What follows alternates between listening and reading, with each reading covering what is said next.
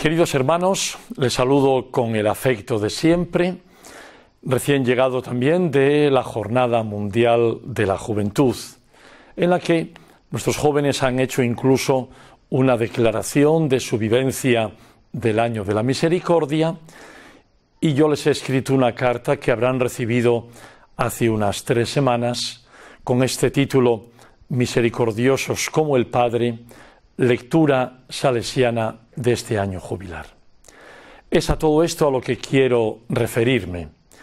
Quiero decirles en primer lugar que hablar de misericordia en el contexto de este año que nos ha propuesto el Papa Francisco significa ante todo sentir y reconocer que Dios es misericordia. El nombre de Dios es misericordia, como ha dicho especialmente nuestro Papa. Y en nuestro caso se traduce, a mi modo de ver, en algunas cosas que pueden ser estas. En primer lugar, desear nosotros esta misericordia que nos viene de Dios. Buscarla, pedirla, para nuestra propia vida y para después poder ofrecerla, poder nosotros ser misericordiosos como el Padre. Al mismo tiempo, hay un elemento que me parece muy importante hablo en la carta de que nuestras presencias en el mundo están sembradas en lugares marcados por el dolor, el sufrimiento, las guerras, refugiados a veces, personas que viven en una gran pobreza, que sienten el hambre, o en otras partes del mundo con una gran xenofobia y con un marcado racismo. Misericordia para nosotros significa que no podemos ser indiferentes a esta realidad. Hemos de dar respuesta a esta realidad. Otro elemento que les quiero comunicar y que digo en la carta es el siguiente.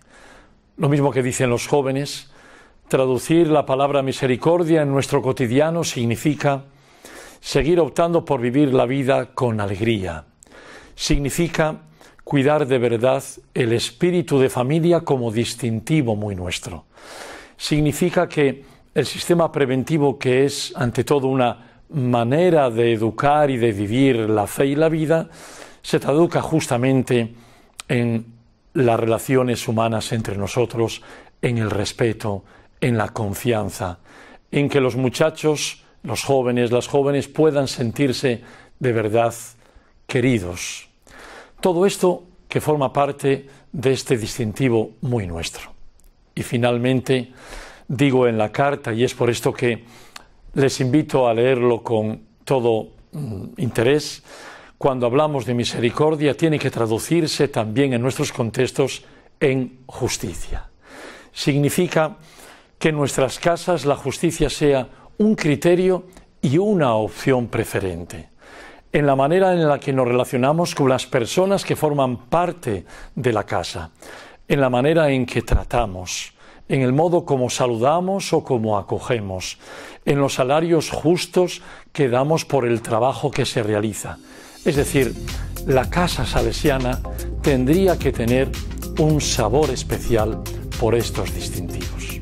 A mi modo de ver, esta es una manera muy salesiana y muy de don Bosco de concretar y de traducir este ser misericordiosos como el Padre. Que el Señor nos bendiga y que la auxiliadora nos acompañe en este camino también con la protección de Don Bosco. Hasta pronto, mis queridos hermanos. Muchas gracias.